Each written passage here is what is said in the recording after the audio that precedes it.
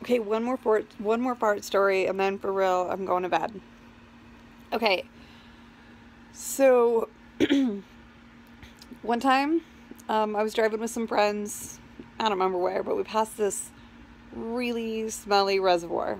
Okay, this is um, in Salt Lake. We have what's called the inversion because the, the city is kind of shaped like a fishbowl. It's the valley gets all the pollution stuck in between the mountains for several months. So when you pass certain reservoirs or certain areas, uh, factories, it just smells just horrible, right? During like for like four months out of the year, right?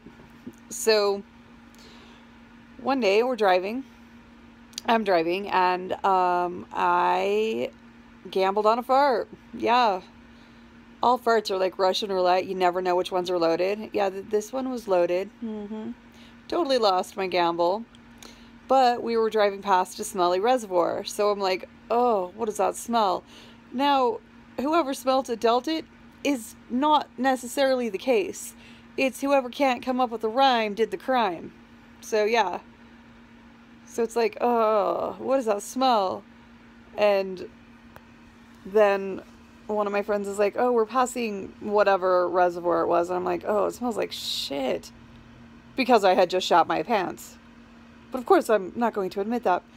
And we drove all the way back to my house and either my friends were very polite or very stupid, but they didn't put it together that the car smelled like shit the entire drive back to my house. And then I immediately took a shower while they watched movies um, in my living room. And then I joined them. And they never said anything about, you know, hey, Kirby, did you just shit your pants? Because really, my friends now, they totally would have.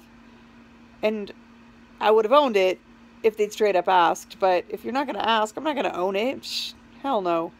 So, um, I gambled on a fart and I lost. So, yeah. That whole pull my finger gag, I didn't do it, but somebody would have, must have pulled too hard. Sometimes I imagine that Sistine Chapel with God and Adam, I imagine pull my finger and that's the Big Bang the Big Bang theory.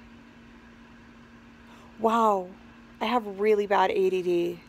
And I promise I'm actually on Adderall again, but it takes a few weeks to actually start working again. So, best of luck with that. You're going to catch my ADD. But Russian roulette farts.